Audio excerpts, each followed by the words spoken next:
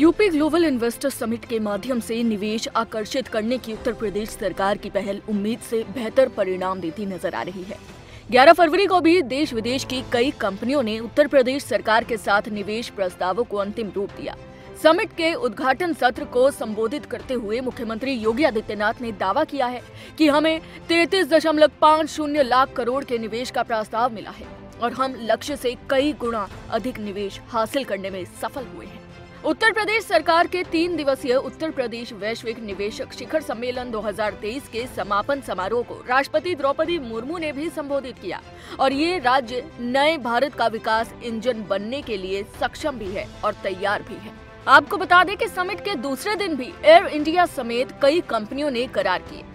Noida international airport और air India express के बीच 620 करोड़ का एमओयू हुआ।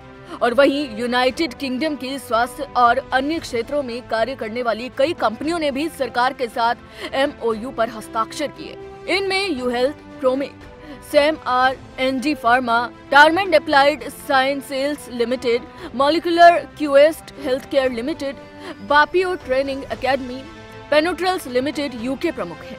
इन कंपनियों के साथ हुए निवेश के आंकड़े 12 फरवरी को साझा किए गए। इसके अलावा खाड़ी देशों और विभिन्न राज्यों से निवेश के कई प्रस्तावों एएमयू की प्रक्रिया पूरी की गई watching video if you like it please press like button share your views in comment section and please subscribe to India news TV for more such updates